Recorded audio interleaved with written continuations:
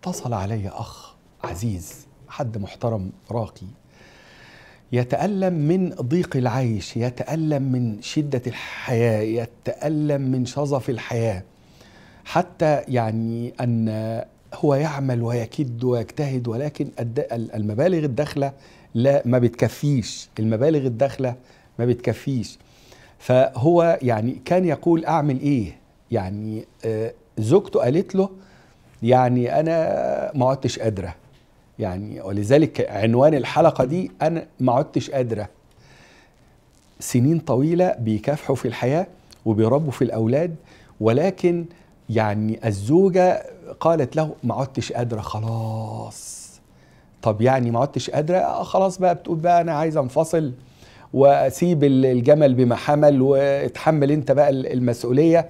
وده في كثير من الأحيان بعض السيدات يعني ربنا يعافينا ولا يبتلينا يا رب العالمين ما لا تنظر إلى النعمة التي في يدها.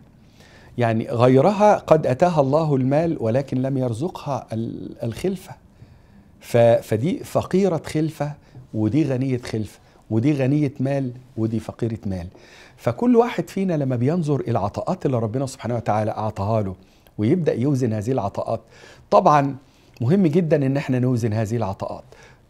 أخويا الحبيب ده لما كلمني قلت له يعني قال لي يعني أن الأولاد بندفع النور والميه وبندفع كذا وكذا وكذا وبنيجي ما بنلاقيش حاجة و و و و وبيتأخر عليها بعض الأوقات الإيجار و و و. فيعني أنا قلت له المفروض إن إحنا اولا الله تبارك وتعالى الحمد لله الذي أعطاك الصحة التي أنت تعمل بها.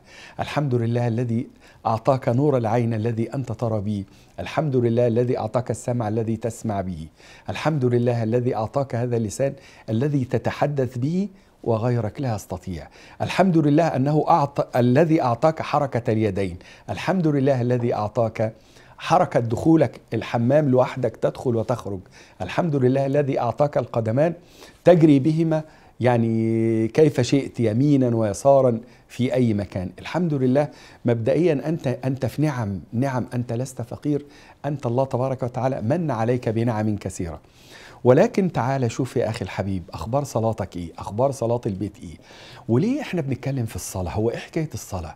هو إحنا كل ما حد يسألنا نقول له حافظ على الصلاة حافظ على ذكر الله وحافظ؟ أيوه. ما هو إحنا أنا لما درست العلوم اللي هي علوم الطاقة ودرست درست علوم كثيرة جدا جدا علوم مستحدثة إنما إحنا عندنا ربنا ولا تحملنا ما لا طاقة لنا به.